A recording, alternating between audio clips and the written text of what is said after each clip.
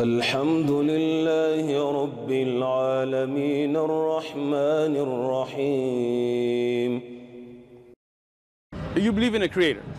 Okay, good.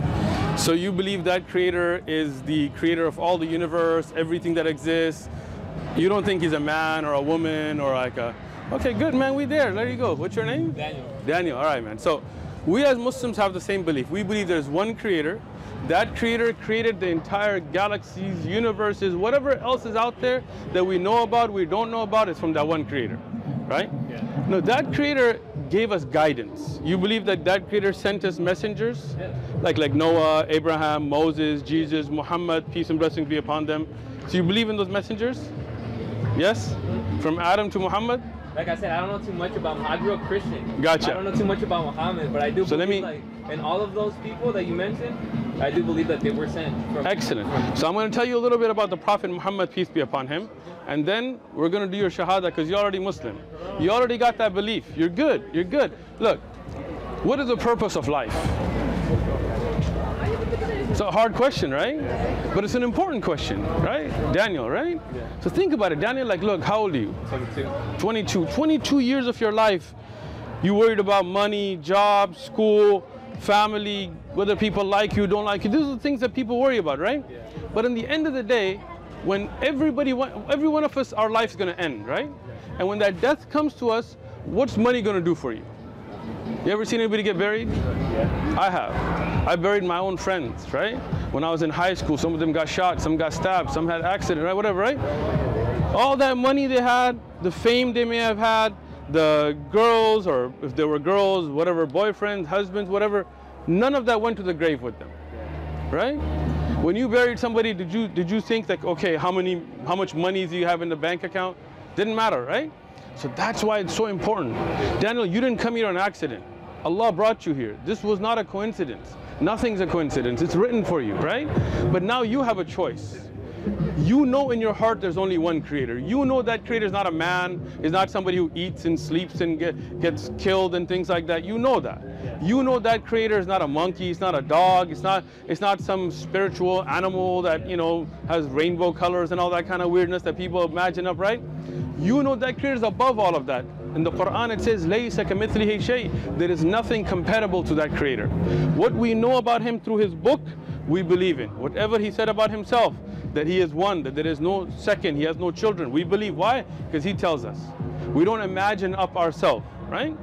You know that creator is so wise that it's not going to leave you without guidance, right? Imagine you, Daniel. Let's say you come up with a new kind of bike, like you got a cool bike, right? But let's say you're real smart. You're like, you know what I need? I need a bike that can fly. And you're, you're, you're smart like that, Daniel, right? You start working on it and you get a bike that can fly, right? Not only does it fly, but it can go in the water it becomes a boat. And when it gets on the road, it's a bike, right? It's got a little kitchen in the back. It cooks for you, right? It's, it's really cool, right? You are so smart, you come up with that. But you know that bike has certain instructions, right? Like if, if people put regular uh, gasoline in it, it's gonna blow up because it doesn't take gas, right? So you, what are you gonna do? You're gonna send some instructions, right? I just bought a pair of glasses and there were instructions with it. You, know? I see where- I see you see where I'm getting at, right? So that creator is going to send us guidance. Yeah, definitely. That you believe that, I believe that. You're Muslim. I'm telling you, man. We're there, right? That's something. I'm sorry to cut you off. Go for it. That's something I was telling him. You know, it's like uh, my whole life I always like I, I grew up reading the Jewish Bible. Wow. Since I was before I was born, you know, my, my I never knew my dad well, but I just know that he would read me a lot of verses from the Bible. Nice. I never really knew him that well, but growing I up, feel you. mom, you know, she was very religious, so she always taught me all these things. So Nice. I basically grew up studying the Bible. Cool. And I do believe a lot, a lot of it, you know. And I was telling him, you know, I was like I try to follow the best that I can. The only thing is like the whole religion. It's something I never really felt comfortable with. I'm with you. You know why? Because people made up stuff and introduced it into the religion. it was always like, See, the concept that here, uh, the Ten Commandments, right? Hear, O Israel, your Lord is one. You, you, you jive with that. You feel that. You're like, this makes sense. But then when they're like, you got to wear top hats and big jackets and you know wear little tassels and take live chicken on their head like some of the Jewish practices today. You're like, that's not Moses and stuff. That's not David. I That's not. real." about that. Yeah, yeah, it's crazy. Google it, right? They got this practice. Uh, the Jews they take a live chicken and they kind of put it over their head to get sins forgiven or something. But Moses didn't do that. David didn't do that. It's not in the Torah. So you see, people made up a lot of this stuff, Yeah. right? A lot of the religious practices today they're made up. Yeah. They're not the way of Moses or, or Abraham or Jesus. Like, like think about this. Jesus in the Bible, because you read the Bible, he put his forehead to the ground and prayed. You know about that? I never knew about that. I'm gonna show you right now, man. I, I, I never heard of that. So you know, like Muslims pray like my Yeah, yeah, I've seen that. They put the carpet and they. yeah, yeah, yeah. Yeah, I know about that, but I never knew they did that. So even Jews today they do that, Okay. right? But also even in the Bible it's written that that's what he did in the Garden of Gethsemane. Okay, I know about that, but I never because, like I said, it was always taught to us that like, oh, there's like, and that's something too that I always contradicted myself. That It was like, or I felt I saw that contradiction. It was like, okay, we do believe in like the Mosaic laws, but then there's some Mosaic laws that we don't practice nowadays. Right? Exactly. was Like circumcision, all of that, right? Yeah, so one of those is doing stuff like that, you know, like having like they call it like kind of like having a show for praying. We like Right. supposedly all we don't do, we just bow our heads, pray, and that's it. You know? Right, was like, but- okay, that's something that was. But look at how Jesus prayed, right? Yeah. Let me just answer this real quick. It's from from Egyptian Society, from Bible Society. So let's go here. We're going to be in Matthew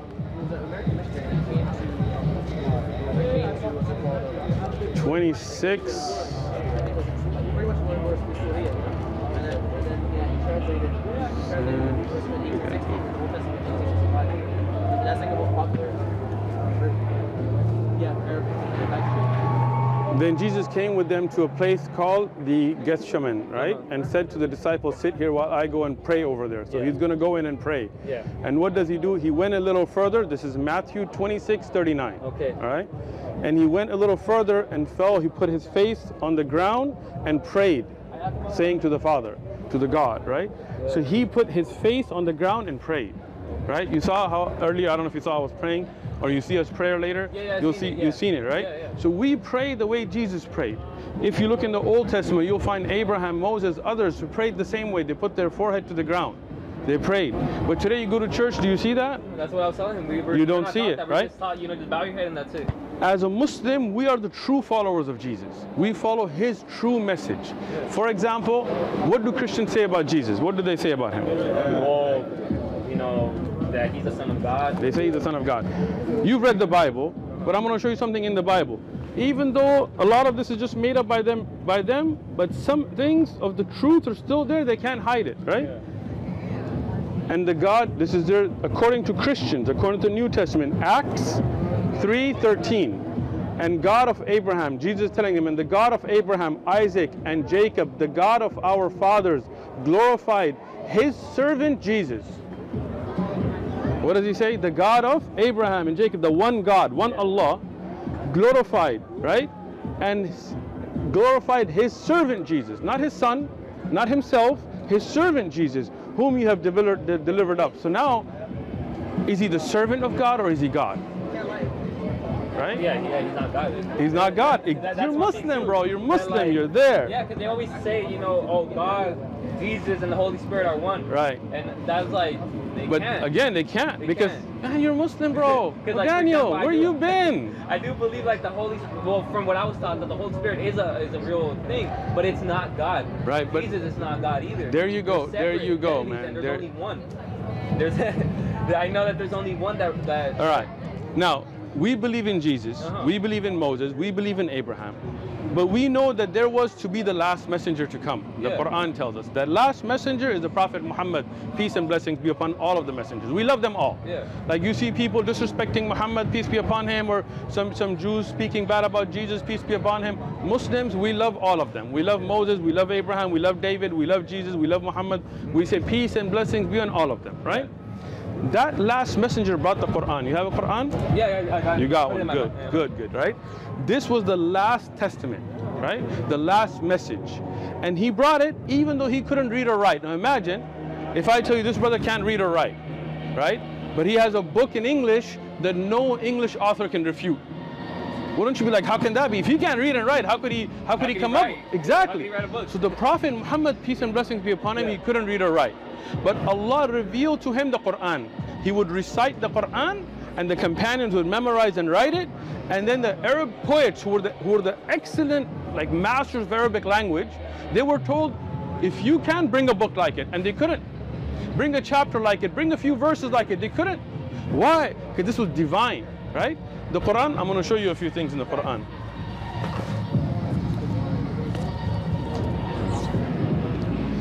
Now look at this, right? This is the Quran now, and you have one at home, so you can read it, right? In the 25th chapter, in the 53rd ayah, in the 53rd verse, right? And he is the one who merges the two bodies of water, one fresh and one palatable, and the other salty and bitter, placing between them a barrier that they cannot cross. Now, sweet water and salt water, if you've ever been to a place where there's salt water and sweet, you'll see they come, but they don't mix. If they mix, all the water will become salty and we couldn't drink anything. This is one of the miracles of Allah that we can see, right? How would the Prophet Muhammad, peace be upon him, know that he was in what's called Hijaz, right? This area is all fresh water. There's no ocean in Hijaz. The Red Sea is there, but that's all fresh water. Until you go to the Indian Ocean or the other side, you know the Prophet never went to the Indian Ocean right? So how would he have known that, right? Let's say you say, oh, he guessed at it. All right, let's give it. Let's give you that, right? Okay. now let's look at this. This is a chapter called the Prophets, Anbiya, the 21st I, chapter. mean, I, I hate to cut you off. Go for I it. do under. I, so, because like at least to me, something that I, I learned, you know, in, uh, to the prophet Isaiah. Right. The prophet Isaiah, he spoke how the earth is hung over nothing. Right. It, it's not. It, there's it, and it's spherical. Exactly. So many times, and, And they never had a telescope back then. You know, how could he? So? I'm, gonna, I'm just exactly what you said. We're going to play off that. Look at Yeah, this. The same. This is from Allah. See, you brought that up, and Allah brought the verse to you. The Prophets, chapter 21, verse 33. And He is the one who created day and night, and the sun and the moon, each traveling in an orbit. Look at that, right? How would the Prophet ﷺ know that? He didn't have a telescope, we didn't have Hubble telescope, we didn't have NASA, we didn't have any of that. The fact that even the sun has an orbit, till very recently, scientists didn't know. And that, that's a proof right there that, That's that that's not human written. Yeah. All right. Proof right there that, That's that, a that's proof. not human written. Yeah. All right. You understand. You're Muslim. That's it. All right. We're doing your. You're doing your your shahada. This is going to be your testimony of faith. Oh. All right.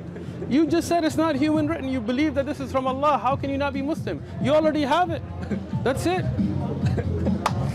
Come here, bro. You got this, man. You got this. All right. I'm gonna say it with you. I'm not gonna pick it up. Oh. It's all right. Sorry about it. All right. So, we're gonna do it in Arabic or English first. What you wanna do? I don't know Arabic. All right, I'm, I'm gonna say you just say it with me. Don't worry, I got you. All right. We'll do it in English first, so you know what you're saying.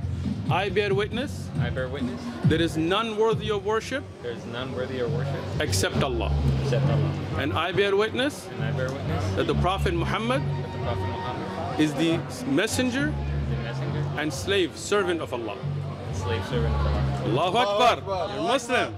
All right. Ashhadu Ashhadu Allah Allah ilaha ilaha illallah illallah. wa ashhadu Wa ashhadu anna anna Muhammadan Muhammadan abduhu abduhu wa rasuluh. wa rasuluh. Allahu Akbar. Allahu Akbar. You're Muslim.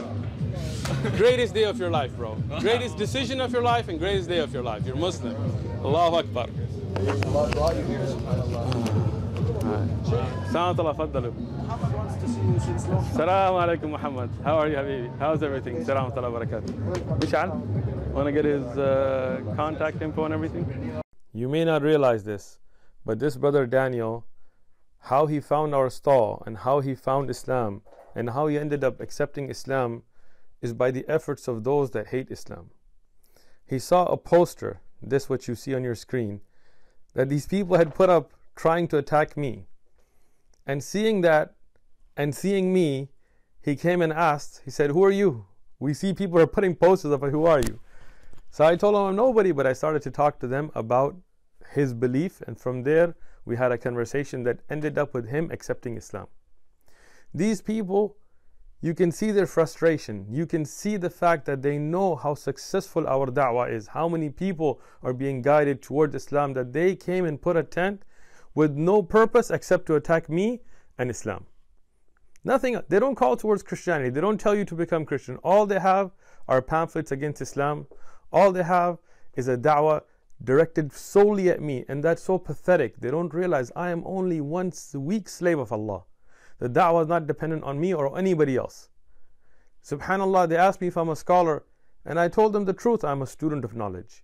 And they think as if that's an insult, not knowing that every true scholar, those that were scholars, never called themselves ulama, they never called themselves scholars.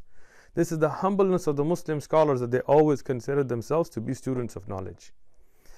Anybody who thinks they're a scholar is really a donkey, like their teacher.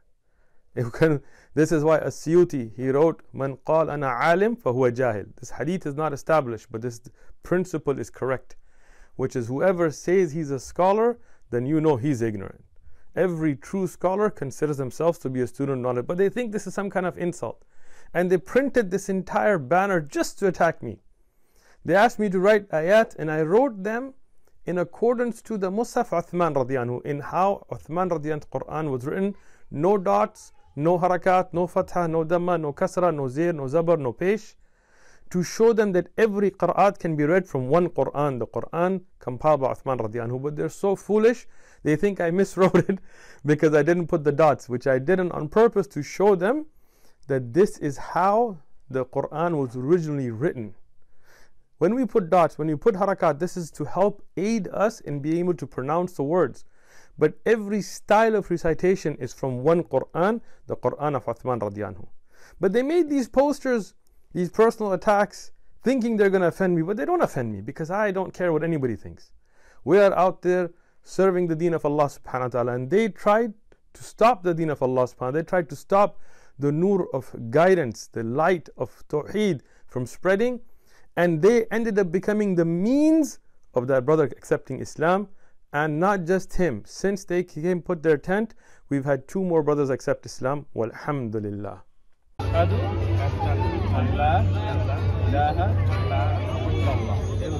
واشهد ان محمدا عبده ورسوله I bear witness that that there is no God worthy of worship worthy of worship except Allah. And I also bear witness that Muhammad is the slave and messenger.